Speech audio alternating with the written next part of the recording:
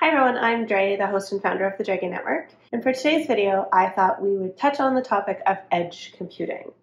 So there are certain buzzwords that sort of fly around the industry every now and then, and they tend to make their way through the technical crowd first before they migrate up to the analysts and the other health informatics professionals.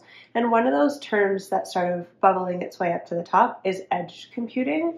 So I thought I would take a quick look at it today. So if you do hear it when you're having conversations with your systems engineers or your database analysts or some of your technical IT directors, that it isn't a foreign term to you and you can understand what it is they're talking about and why they're so excited about it. So keeping it as simple as possible, edge computing is computing that is occurring as close to the source of the data as possible. So, what does that mean? So, with the current healthcare infrastructure, we have a client server type arrangement in most situations.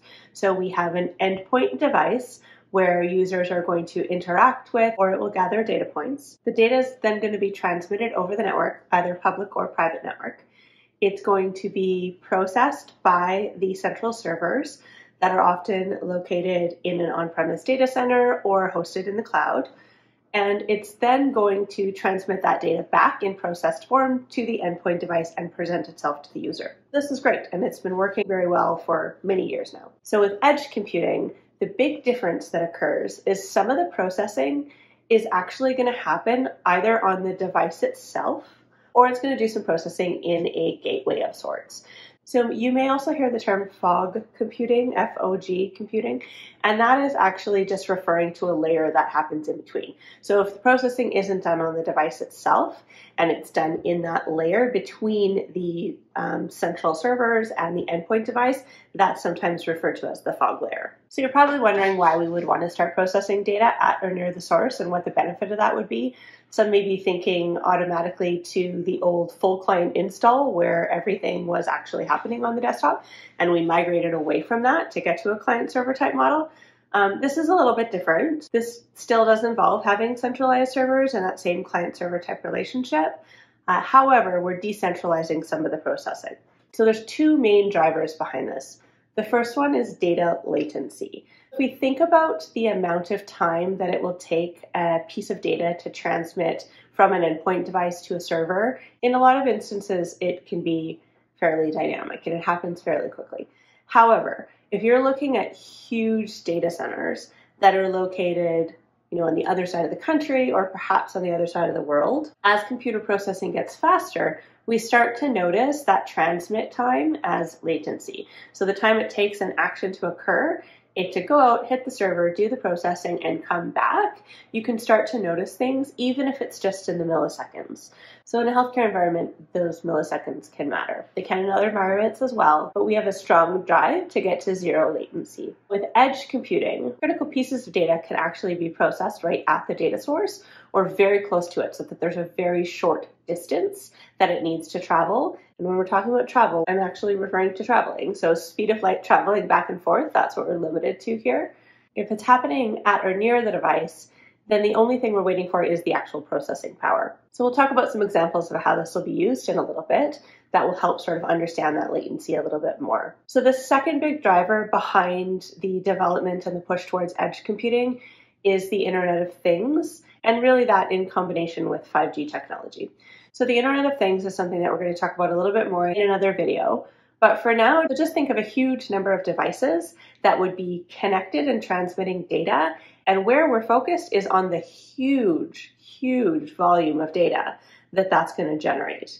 So if we're looking at light bulbs that become smart, as well as beds that can weigh patients, heart rate monitors, um, some of our RFID tracking tags, everything. So if everything is transmitting data in this whole Internet of Things world, that data becomes overwhelming and we're going to sort of start to go back to the spot where we need incredibly fast bandwidth and incredibly fast server processing in order to make sure we don't have latency. So when we introduce edge computing to this scenario, it gets done on or close to the device itself, so it can sort of stay a little bit away from that huge world of data out there.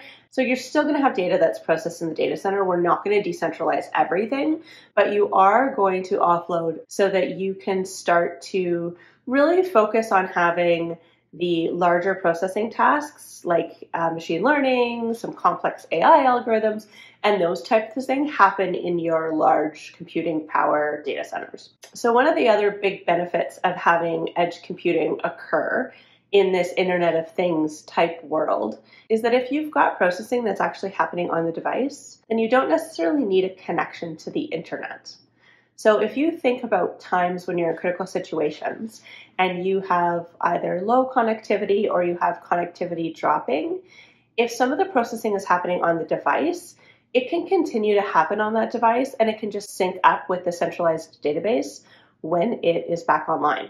So this could help in all sorts of situations and actually would allow us to continue to use some of those things in situations where we've got interruptions or, like I said, low bandwidth. So from healthcare, you can see where that could be a huge positive. So to understand edge computing a little bit better, one of the things that might help is some use cases. So there's three use cases that I want to just briefly touch on to sort of give us an idea of how this is going to fit into our environment and why the term keeps coming up so frequently. The first one is rural medicine. So like I said, if the device itself has edge computing capacity and has the ability to process things on the device itself or in a small gateway that's perhaps located as a mini on-prem data center, let's say, then you have the ability to overcome some of the significant challenges that we have with connectivity in remote places. So you may not have the ability to put an on-premise data center that can house everything on site, but if you have gateway tools that you could install, for example, that can manage the edge computing, you may be able to get around a little bit of that. And same thing if you've got smart devices that actually do edge computing on the device itself. So the second one we'll touch on is wearables.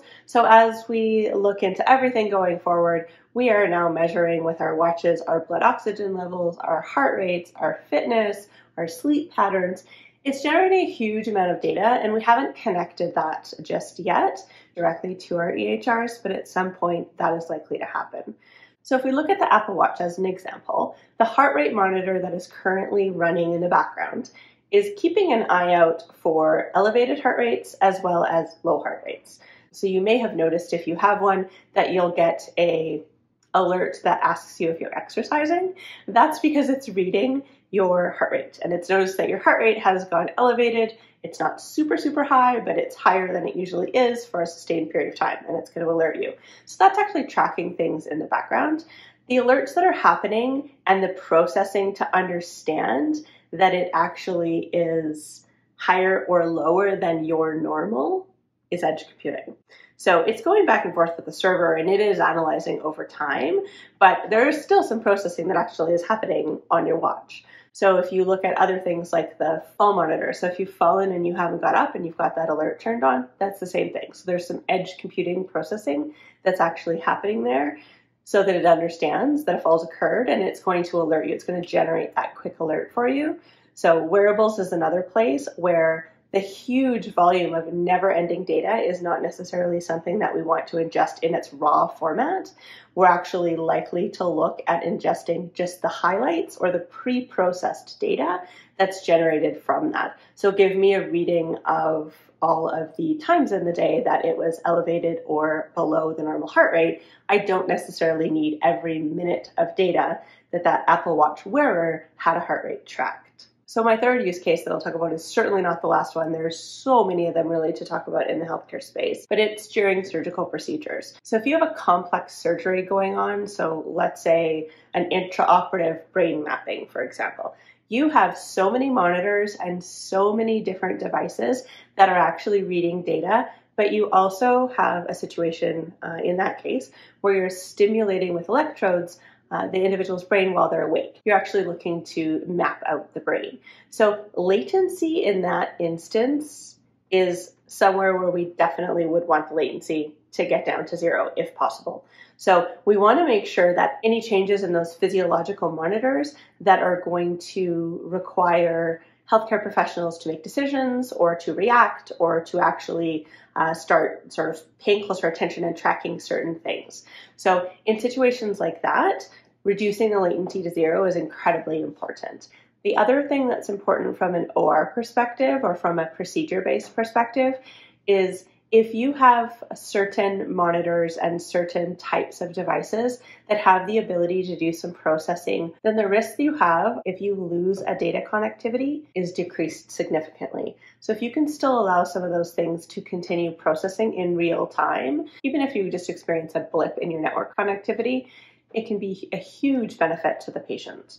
So I hope that this brief explanation sort of gave you an idea of what edge computing is and how it's sort of making its way into the healthcare space. Edge computing is fairly new. It's not on all devices yet, but you will start to see some processing power put into more smart devices as they go forward. So some of our smart pumps, smart monitors, of course, as I mentioned, smart wearables and things like that.